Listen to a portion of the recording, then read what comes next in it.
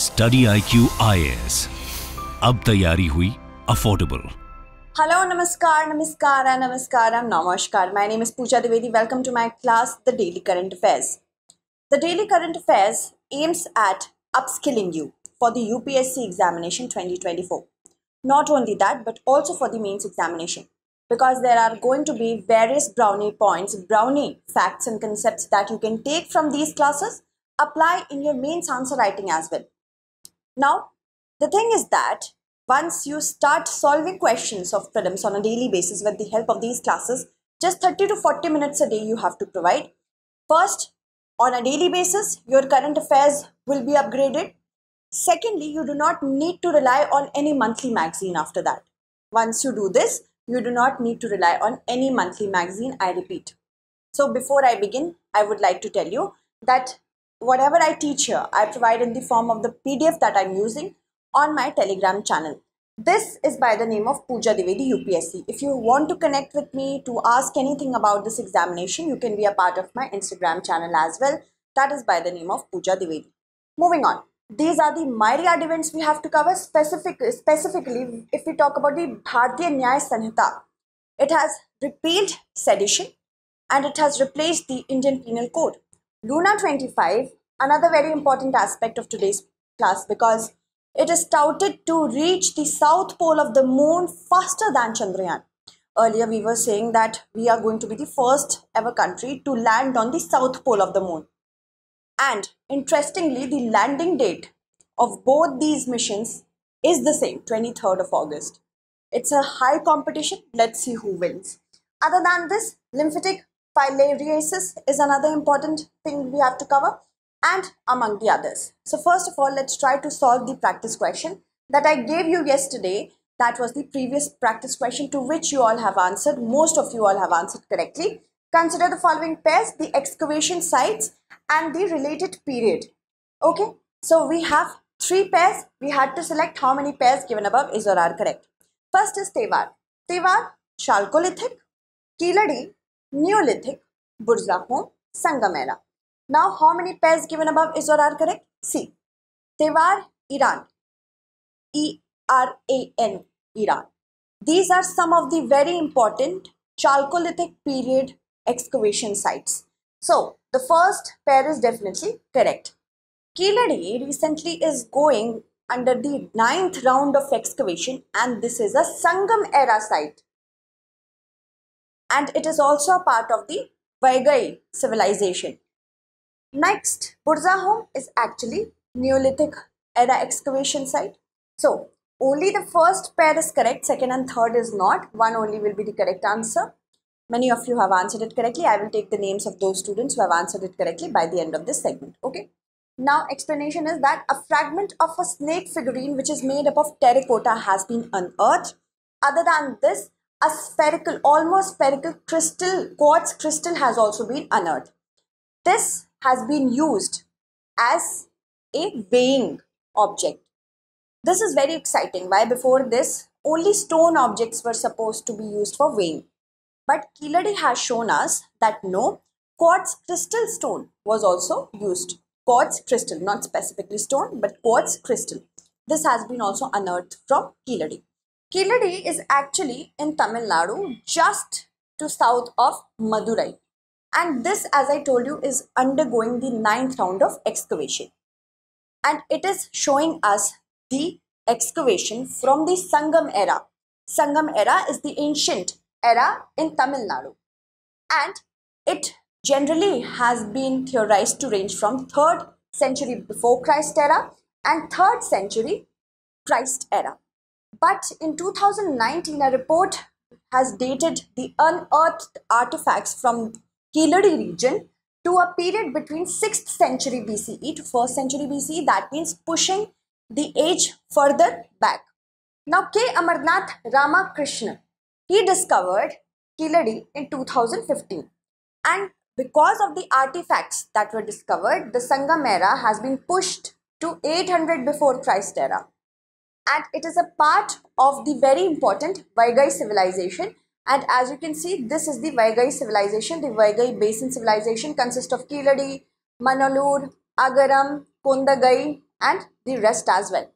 And as we see, as we know that the Indus Valley civilization has been known as the urban civilization, ancient urban civilization, not even ancient, we can go back to thousands of years. And do you know there is a difference of 1000 years between the Vaigai era civilization and the Indus Valley civilization. So we have to keep in mind all these sort of things. Brick structures, luxury items, proof of internal and external trade has been found. Other than this, industries and advanced civilization, weaving industry has been found, dyeing industry has been found, urban life and settlements in Tamil Nadu in the early historic period has also been found. Now, as you see, this is the Chalcolithic site. Here is Eran and just to the west of Jabalpur, we will find Tevar. These are Chalcolithic period sites. Then here is Burzahom that belongs to Neolithic period. Okay. Moving on. With respect to the Bharatiya Nyaya Sanhita 2023, consider the following statements. It will replace the Indian Penal Code. It will completely repeal the offence of the sedition under the sedition 124A of the code. I am talking about the IPC only here. It contains section 150 which punishes acts endangering sovereignty, unity and integrity of India. So how many of the statements given above is or are correct? This has just today, a few hours back, has been brought up by the Union Home Minister. Three important bills to replace the IPC, CRPC and the Indian Evidence Act. A huge impact on the criminal system of the country now. Let's see about it. Yes, Bharatiya Nyaya Sanhita will replace the IPC, Indian Penal Code. Since the colonial times, it has dictated the criminal structure of the country and it will completely repeal the offense that is under section 124 of the uh, 124A of the IPC. However, do not be very happy. Why? Because sedition has been said by the law commission that it needs to be retained. So it is retained under section 150 of the Bharatiya Nyaya Sanhita which will punish acts of endangering sovereignty, unity and integrity of India. Another very important aspect of this is under the sedition, if certain acts were seditious, the imprisonment could be for up to three years or life or fine or either both like that. Now here the imprisonment will be up to seven years or life depending upon the gravity of the situation. So First is correct, second is also correct and third is also correct. How many are correct? Here it should be all three. All three are correct. Alright. So the new bill will replace the IPC. It will repeal or we can say completely 124A of the IPC. This section will cease to exist because the IPC is being replaced but it has been retained as a threat to integrity and unity of India under section 150 of this particular bill that has been introduced. Okay, and it will of course completely repeal the offense. I have already told you about this. Other important facet is that Law Commission said that sedition because of the current situation and also the situation that country our country goes through has to remain an integral part of the criminal justice system, criminal law system. So that is why it wouldn't be removed, but it has been repealed. That means the nature remains almost the same and the punishment has been increased but IPC is no longer our law. This is what this bill says. Okay. And you see that those certain amendments as suggested may be introduced in it by incorporating the ratio decidendi of Kedarnath Singh versus state of Bihar. So certain judgment was made in this particular case. I will cover it today. Do watch it. Okay, moving on. Now, as I told you, section 150 talks about talks about acts which are endangering the sovereignty, unity and integrity of India. However, if anybody wants to ensure that they want to criticize the government, government's actions and that is lawfully, it will be an exception. And you see here, the imprisonment is for life or with imprisonment which may extend to 7 years. Earlier in the sedition law, it was 124A uh, in which it was 3 years. Remember that. And shall also be liable to fine. Okay. So there is an addition of fine over here. That important system, IPC system shall no longer be there. Moving on. CRPC of 1973 will be replaced by Bharatiya Nagarik Suraksha Sanhita and the Indian Evidence Act of 1872 by Bharatiya Sakshya Bill. Okay, moving on. With respect to Niti Aayog's aspirational districts program, consider the following statements. It was launched in 2017. There are 118 aspirational districts. Jharkhand has the highest number of aspirational districts. So, how many of the statements given above is or are correct? This particular ranking is actually to include those districts that have the potential but because they are not able to exploit that potential they are lagging behind so these are the aspirational districts this program was launched in order to ensure that proper convergence occurs between the state and the center collaboration occurs and also healthy competition occurs between different districts hence different states so this program actually measures the performance of different districts at the district level of course on 49 key indicators on which are a part of five broad socio-economic parameters. Okay, so it was launched in 2018 and not 2017. There are actually, according to the website, the official website right now, 112 aspirational districts. And Jharkhand has the highest number of aspirational districts. We can count them to 19. So first is incorrect, second is incorrect, only third is correct, one only will be the correct answer. So Nuh, as we see that Nuh has been undergoing communal violence and now it is, uh, you know, somewhat okay.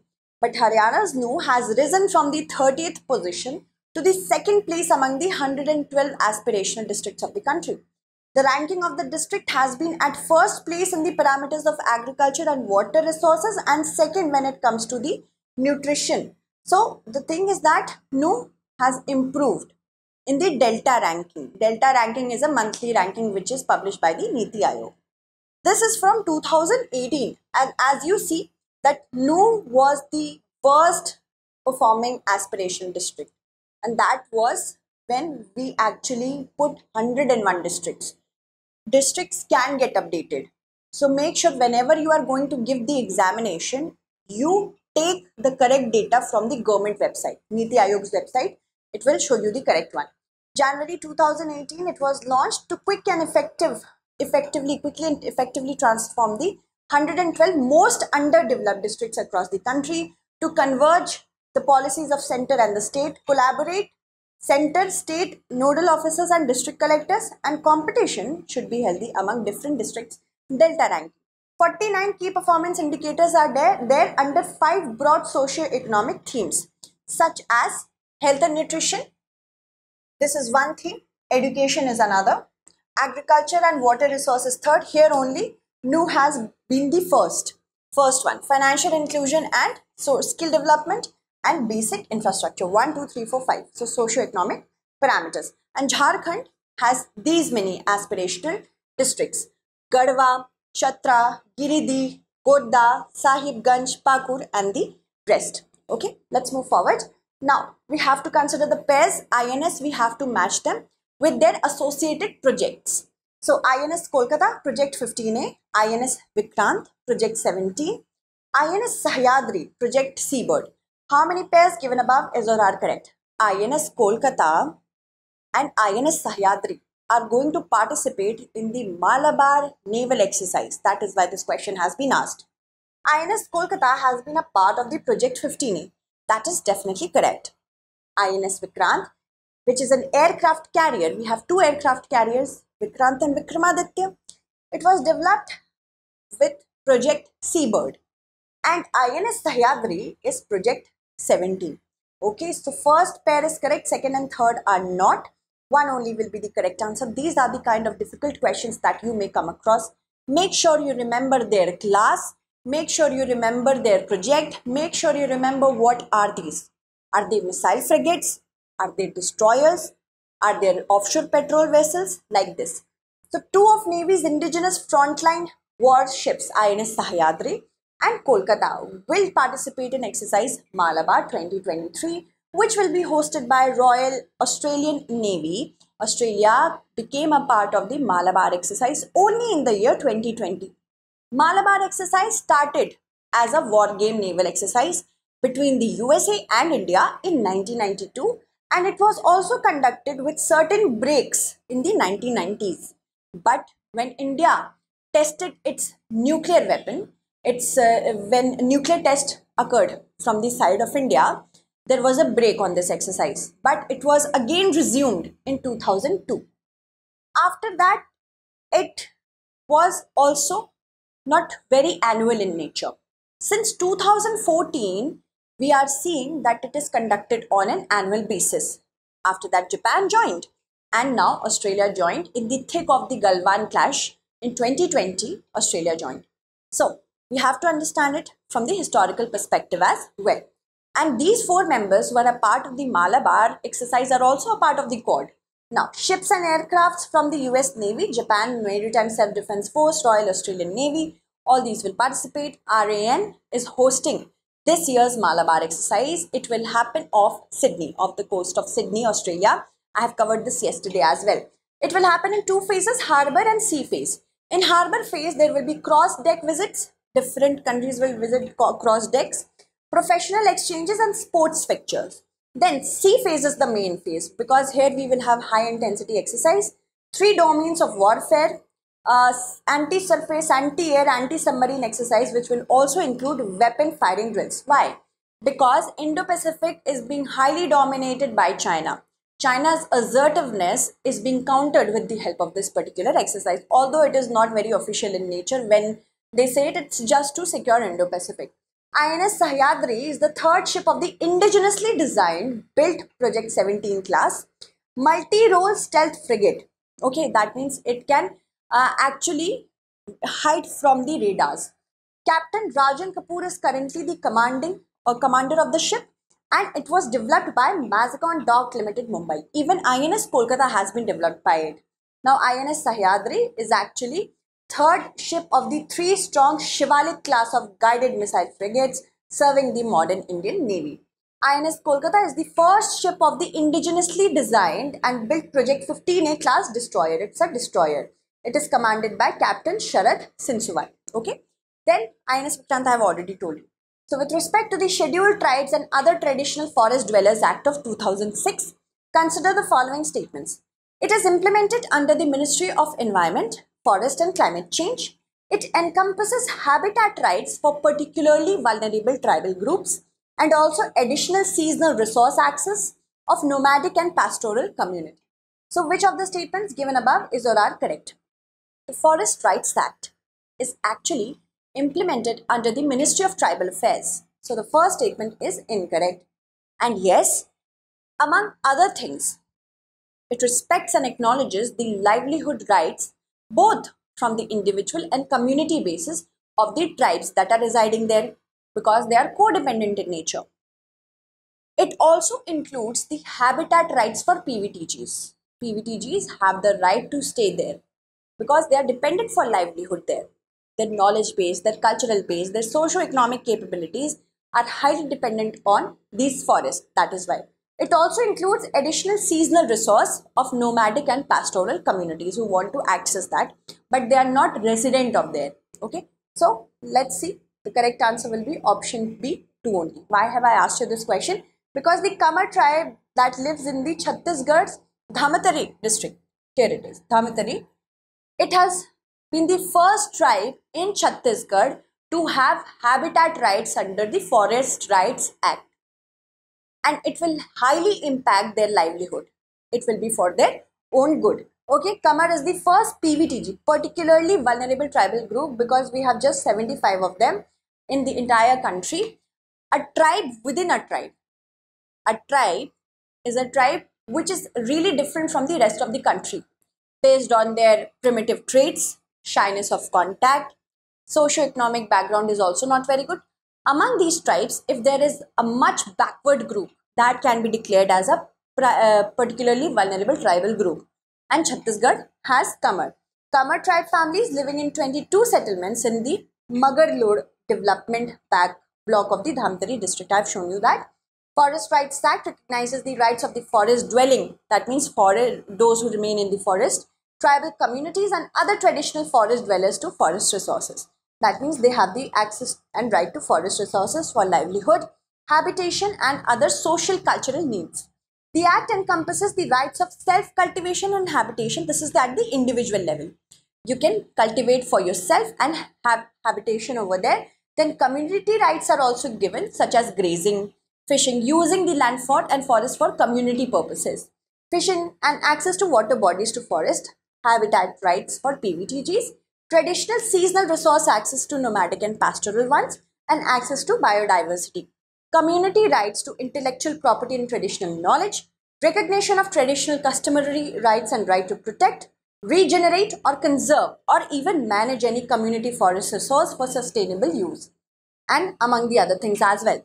The right to fair and compensation and transparency in land acquisition, rehabilitation and settlement act of 2013. This is used in coterminous. Uh, you can say it simultaneously or in congruence with the Forest Right Act. It says under this only, FRA protects the tribal population from eviction of from that area without rehabilitation and settlement. If you are evicting, first of all, eviction has to be done, not done. And even if it is being done, what are the actual rehabilitation measures? Once they, those are fulfilled, then only eviction can be done. Then rights to, uh, I have already told you about that. So let's move forward to another question. Which of the following is the only Central Armed Police Force to have a dual control structure. Border Security Force, Assam Rifles, Central Reserve Police Force, Central Industrial Security Force. I have already covered this in many of my daily current affairs. So please answer it correctly in your heads. The correct answer will be uh, option B, Assam Rifles, because it is having the administrative control of the Ministry of Home Affairs. But its operations are under the army, which is under the Ministry of Defense. The administrative part, supposedly the salary and the infrastructure, is taken care of by the Ministry of Home Affairs. The deployment is taken care of by the army, which is under the Ministry of Defense. Also, it is the only central armed police force that is having its operation exactly on the lines of the army. So option B will be the correct answer. The Meitei and Kuki MLAs have written separate letters to the Prime Minister of India they are having a clash of interest as in they have they are having different interest on the situation of Assam rifles in Manipur. Meiteis are alleging something against them and Kukis are alleging something. Okay, so let's move forward. Assam Rifles is one of the six CAPFs. Others also include CRPF, Central Reserve Police Force, Border Security Force, Indo-Tibetan Border Force, Central Industrial Security Force and Sashastra Seema Bal. It has the administrative control by the Ministry of Home Affairs and it takes care of the northeastern states of India, specifically also its borders with Myanmar. And that is meaning that Manipur, here also the Assam rifles are posted. Okay. Now it is tasked with the maintenance of law and order in the northeast along with the Indian Army. It works with the Indian Army, guards the Indo-Myanmar border region, only paramilitary force to have a dual control structure which also creates a lot of problem. Salaries and infrastructure happens from the Ministry of Home Affairs, deployment, posting, transfer and deputation by the army, which is under the Ministry of Defense. Operational duties and regimentation are exactly on the lines of the Indian Army, the only force. Now, with respect to lymphatic filariasis, which of the statements is not correct? It involves asymptomatic acute and chronic conditions. It is caused by a type of roundworm. It is carried by only the Culex mosquito, India has committed to eliminate lymphatic filariasis by the year 2027. In order to actually answer this question, you must be aware what is lymphatic filariasis. It is a neglected tropical disease which is actually caused by a roundworm and it impacts the lymphatic system. Lymphatic system is a network of tubes in your body which drains the lymph. A lymph is a fluid which sometimes gets out of the bloodstreams. And in order to ensure that they do not go to different other places, they are emptied back into the bloodstream with the help of these lymph nodes in the lymphatic system. So, it is important to maintain the structure of your bloodstream only. So, we have to understand it, then only we can answer it. It is caused by a type of roundworm. The disease causing parasite. And who carries this disease causing parasite? It is the vector mosquitoes. And not only the Culex, but also Anopheles and Aedes can do it. So option C because of that will become incorrect. Now we have actually reached the conclusion to this, but India is committed to eliminate this particular disease by the year 2027, sorry, and this is three years ahead of the global target. Then it involves asymptomatic acute and chronic conditions. Generally, a person will get it in their childhood. Symptoms may not show in the childhood. It may actually show when they become an adult. It can where it can be very morbid. It can also cause fatality.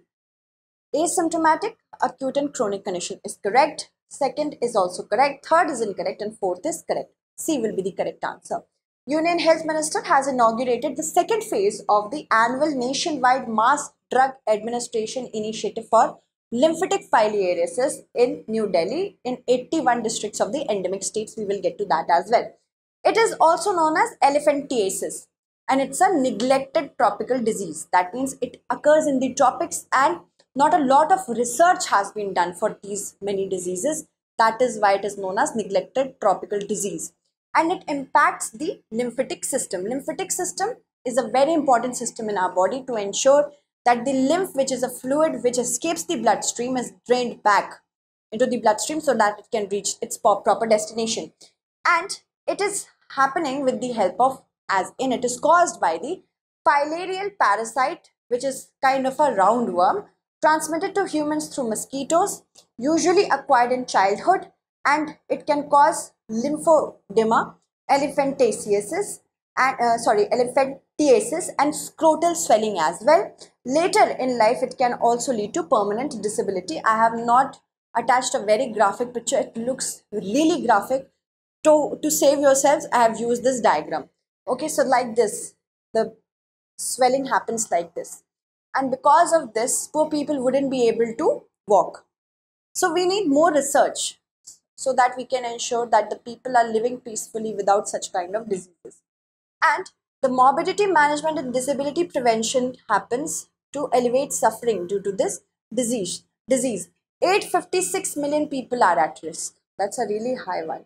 It impairs the functions of the lymphatic vessels. Normal vessels look like this. Dilated ones look like this, expand. It is caused by infection with parasites which are classified as nematodes. Nematodes are roundworms of the family Filariidae.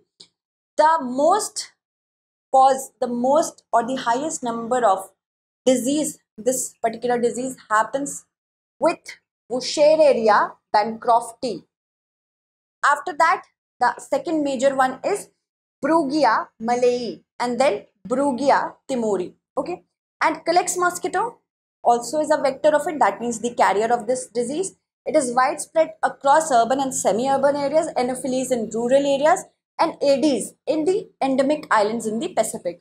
So Culex, Anopheles, Aedes. Okay, moving on. Lymphatic filariasis infection involves asymptomatic acute condition. India is committed to eliminate it by 2027 by, of course, giving people medicines and aid in eliminating the spread of it by killing mosquitoes.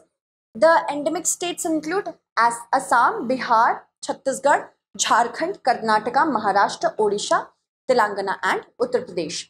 Now, consider the following statements. We have to see both the statements and choose the correct answer from these codes. The repo rate is the interest rate at which the Reserve Bank of India loans money to the commercial bank. That means the commercial banks, when they have to go for a loan, they will go to the Reserve Bank and it is the repo rate. A decreased repo rate is directly proportional to the amount of money in the market. So let us see what is the correct answer to it. I'll explain. As I have already told you, this is the RBI and this is the Bank A. Bank A, of course, wants to give money to customers and accept deposits in such a manner that it is able to have profits. Now, if it if it wants money to loan it further to the customer it will go to the RBI and it will give qualified securities to the RBI so that it can get loans from that and after that the commercial bank can also repurchase that qualifying securities it gave to the RBI. So this is what repo is. Repurchase option, repo rate. Now, first statement is definitely correct from that matter. Second, it is saying a decreased repo rate is directly proportional to the amount of money in the market. That means if the repo rate is decreased, the liquidity or cash or money that is available in the market will also decrease. No, let's tell you how that happens. A has gone to the RBI. RBI is giving loans at a low interest rate, a decreased interest rate. A will be very happy. A will the most or the maximum amount of loan. Why? Because now it can give to the different customers so that it can earn profit on the interest it is going to charge. So whenever there will be a decrease in the uh, repo rate, commercial banks will get more amount of money with them and more will be spread across different customers. That means the lower the repo rate, the higher will be the cash in the market or the higher the liquidity in the economy. So, an, a decreased repo rate is inversely proportional to the cash or the liquidity that is available in the economy and not directly. Directly would be lower the repo rate, lower will be the cash availability. No, that's not going to happen. Statement 1 is correct, but statement 2 is not correct. Statement 1 is correct, statement one, 2 is not correct is going to be the correct answer. Recently, the Monetary Policy Committee, which is headed by the RBI governor, has taken this decision that the it's of course unanimous that the repo rate will remain unchanged at 6.5%. This is the repo rate or repurchase agreement or, or repurchase option. Okay, I've already explained you that. With respect to PM Gati Shakti, consider the following statements. It is a digital platform. Keyword here is digital. To bring 16 ministries together for integrated planning and coordinated implementation of infrastructure connectivity projects. It is exclusive of the railways in India and it is based on six pillars. Highly factual question and conceptual as well. How many statements given above is or are not correct? PM Gati Shakti, which was launched back in 2021, wanted to ensure that if developmental, infrastructural developmental projects are being done, it is done in a coordinated manner. It's not like some department is coming, excavating one side and then uh, trying to smoothen it out. Another department comes, again excavates it. It is not cost efficient, it is time taking, and it can also harm the different departments. So, it's a digital platform which will ensure that there is comprehensive collaboration between different ministries so that they know which project is going on where and in that case they can also participate in their project so that they can have their own project uh, combined like this it can happen and it also includes the railways. It's not exclusive. Roads and railways are included and 16 ministries are brought together in a digital platform. So first is correct second is incorrect and it is based on six pillars. Third is also correct. 1 and 3rd are correct, not correct, only 1. 1 only, second statement will be the correct answer. A total of 6 infrastructure projects with more than 28,000 crore rupees have been recommended under the PM Gati Shakti, which is also known as the National Master Plan for Multimodal Connectivity Planning. Uh, connectivity Plan. Coordinated planning and execution of infrastructure is the biggest aim. Integrated planning and this will happen for the next four years expediting works on the ground, saving cost and creating jobs. So this is very important for us to know. It will subsume the rupees 110 lakh crore national infrastructure pipeline which was launched in 2019. It aims at increasing cargo handling capacity also, reducing the turnabout time, turnaround time at ports as well as boosting trade. It uh, also will include 11 industrial corridors and two new defense corridors, one in Tamil Nadu and the other one in Uttar Pradesh. Extending 5 4g connectivity now 5g will also be included later on. Okay so these are the many objectives. Comprehensiveness prioritization optimization synchronization analytical and dynamic.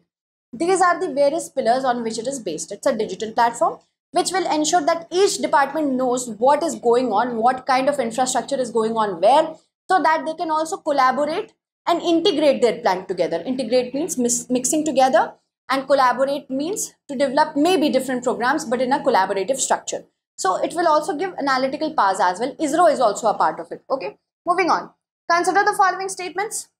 Luna 25 is expected that it will reach the south pole of the moon faster than India's moon mission. Earlier we were saying that we are going to reach the south pole of the moon and this will be the first time ever any country is landing on the south pole of the moon. But Luna 25 which was launched just recently, I will tell you when, and it may overtake Chandrayaan. Landing. The landing date of Luna 25 is 23rd of August 2023, which is the same as Chandrayaan 3. Uh, please do watch your televisions on this particular date because it's going to be highly thrilling. I will do that for sure. Which of the statements is are not correct? See, Luna 25 has recently been, uh, you know, launched by Russia in nearly 50 years, after almost 50 years, Russia has gone on the moon. It's very important to send such messages to the West. That is why it is doing. Luna is expected to reach or land the surface of the moon faster because of the fuel that it is using. We are using the gravity and sometimes thrusting. We are not expending a lot of money on fuel. A direct flight from the earth to the moon would be just 4 days but chandrayaan is going in a indirect way that is why it will it is taking such a lot of time and from the earth's vicinity to the moon's vicinity it is the fuel that matters so luna 25 is using a lot of fuel the landing date of luna 25 is actually the same as of chandrayaan let's see so not correct. First is also not correct. Second is also not correct. As in first is correct. Second is correct. But these two will be of course neither one nor two. Okay. Sorry for that. First is correct. Second is correct. Okay. So the correct answer will be option D neither one nor two. Moving on. Luna 25 is a mission to land a lander on the moon south pole and this was launched at 2:11 a.m. on August 11 Moscow time. Chandrayaan will land here.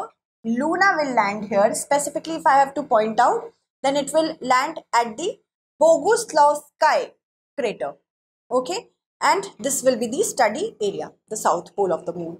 South pole, why is everybody, you know, uh, after south pole? Because south pole consists of ice and, of course, fossil fuels that have remained untouched so it will open a lot of, it will reveal a lot of mysteries of the creation of the universe. That is why. And it will reach or land at the South Pole 23rd of August 2023. This is the first moon mission of Russia in 47 years, almost nearly 50 years. It was launched by Soyuz 2.1V rocket. Okay. Uh, this is the South Pole of the moon. Everybody is excited about it. Now, a big, a big, big surprise for you all we are launching our sale. For these many optionals, you have been asking for options, right? So apart from Hindi Sahitya, which will only be available in Hindi language, PSIR, Sociology, Geography, History, PubAd, Anthropology, Mathematics and Philosophy. These all are available at a discounted rate at just rupees 12,999. This is down from 20,499. If you use the code PD Live, validity is just till 15th of August. Amrit Kal for study IQ as well. Now this is the practice question. I'm sorry. This looks like this. But I have tried to, you know, put it in the correct symmetry. It did not happen. Sorry for that. I will explain it to you. Port Dr. Shyama Prasad Mukherjee Port is India's oldest operating port. Paradeep Port is it can be deepened to any depth. JNPT, Jawaharlal Nehru Port Trust, India's largest container. Let me move myself from here. India's largest container handling port in India. So how many of the pairs given above is or are correct? You have to do that. Okay. So let me take the names of those students who have answered my last question correctly uh, so that you all can answer it again for me. Okay. So yes, many students have answered it correctly. Congratulations for that. Option A will be the correct answer of the last practice question. So Mandeep has answered it correctly, I guess. Yes. Ria has answered it correctly. Vaidya has answered it correctly. Uh, Thang Megs has answered it correctly. Padmashri, Vivek, Abhishek, Simran, Shubhank, and Vasundhara has also mentioned correctly the pairs. Good for you and congratulations for doing that. Another set of students have also answered that practice question correctly. Just stay with me. I will announce your names as well. No need to be disappointed. Mm, yes. Other students who have answered it correctly include Yashwant Sharma, Rishav, and yes. Thank you so much for answering the last question. Answer this question correctly as well. That's it. Thank you so much for watching. Study I Q I अब तैयारी हुई affordable